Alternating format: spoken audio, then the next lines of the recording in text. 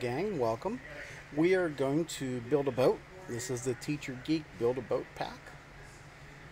So make sure that you have the instructions from TeacherGeek. If they didn't come in the pack, go to teachergeek.com and download them from the Build a Boat page. First thing you always want to do is check to make sure you have all the parts because there might be some extra things you need to also grab are simple things at home. Let's go down the list. We need a couple of blocks. We need three of these black strips. We need four screws and four nuts. We need 10 project sticks. I only grabbed a few because I know I only need three of those actually for my first trial. I need a mini hub and a mini hub cover. That's to hold the propellers and the project sticks are to mount the propellers on and a mini hub screw to screw the these two together. Some zip ties a motor a motor mount. Battery holder this will hold two AA batteries so you will need to also get two AA batteries. Now the packing list says that there should be some chipboard the packing list on some of the instructions. Now they've revised their instructions to not have chipboard, so you're going to have to get some cardboard. And it could be food box cardboard or corrugated cardboard, any kind of cardboard. We're going to make propellers out of this. Now, part of the experimenting with this is to try some different materials for propellers in different shapes. So you don't have to start with cardboard if you don't want to. And finally, some dowels. So I'm going to move these parts out of the way. And talk about tools because we do need some tools. You're going to need a Phillips screwdriver. You're going to need a multi-cutter to cut the dowel rods and the black plastic strips. The reamer comes in a, a toolkit that we have. A small hammer, some pliers, and this block which helps you as support for when you're trying to pound something in. Other things you're going to want scissors, a ruler, pencil, and some tape. Whichever kind of tape you like working with, whichever kind of tape you think is going to hold well. So let me move these out of my way.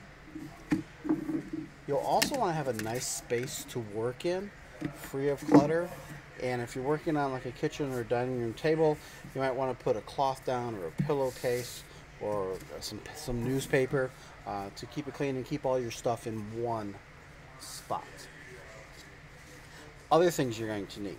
Now this is where the recycle bin comes in handy or a trip to the dollar store. You're going to need things that float because these materials that we had over there, they just build like a skeleton to mount the propeller. Then you're going to need some floating stuff to actually make the boat. So I grabbed a couple of small pop bottles out of the bin. So you think water bottles or juice bottles, something that's going to float. I mean, you empty juice box.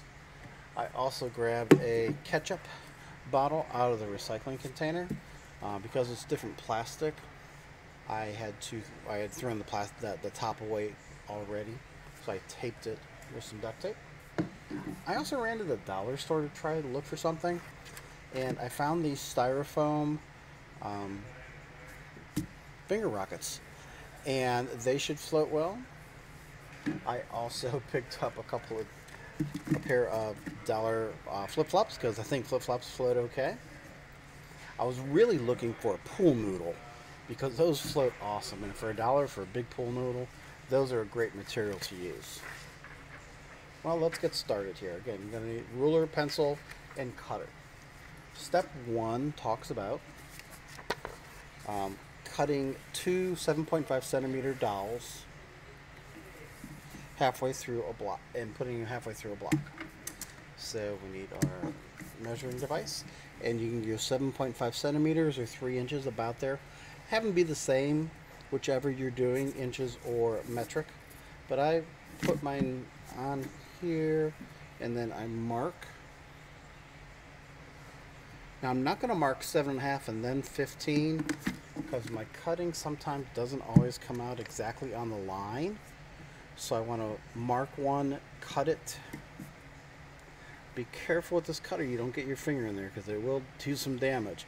I'm holding around there so my pieces don't fly. And then I'm marking seven and a half again.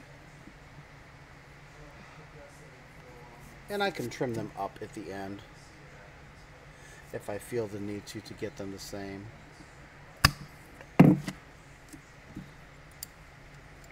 So there I go. Two pieces, pretty darn close. Now they're going to go into this block. And this is where this block comes in handy. That I can set it on here and get my little hammer and I can tap them in. I probably should have marked halfway. But we'll go with it. Now here's the th okay. Here's the thing. Now that I got one in, this one doesn't, you know, sit real perfectly nicely for me to tap it in. See, it's going to running into the wood, so I kind of got to put it on an angle. But I still got support where I'm trying to tap. Yep, a little too far.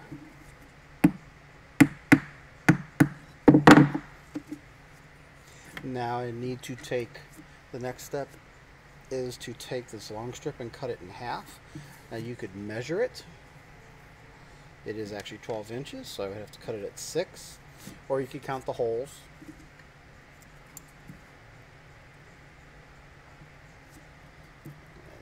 Somehow keeping things so they don't go flying all over the place.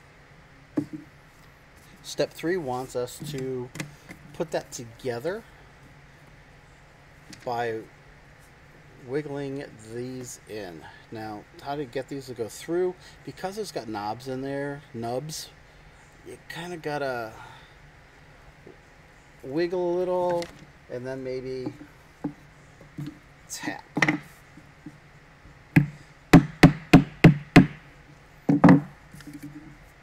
And then get the other one on in the same place, preferably.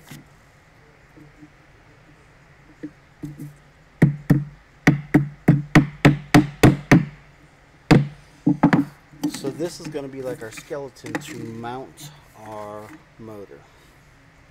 Now I need another piece of dowel rod. They want this to be about 10 centimeters or 4 inches. This is going to go here it's going to be where the fan, the fan, the prop goes. So again, that's another variable you could play with.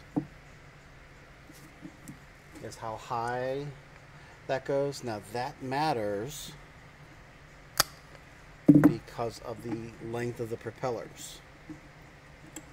So now I need to tap that into there. And don't don't tap onto um, your nice kitchen table, dining room table, coffee table, end table. That's what that block is for. If we don't have this block, get find a block of scrap wood somewhere. We are almost ready to mount the motor. We've got another block that we're going to put onto here. Put on the top. Now this can go this direction or we could turn it and go here. You'll see why in a minute. And now we're going to play with the motor.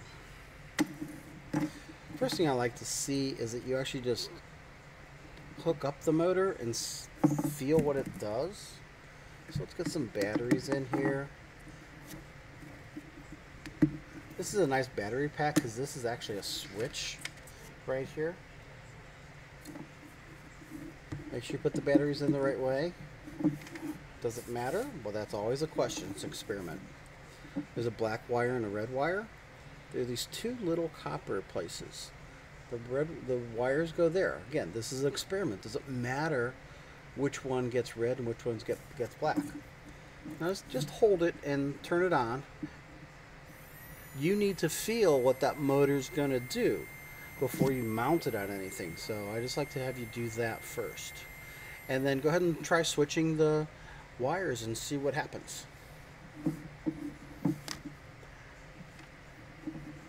We need to screw this on to here. So luckily we have some screws. Now, this is what the screwdriver is for. Now you might be you should be able to get them started by your by finger and can get probably most of the way through. But there's a reason they make screwdrivers is because it's easier.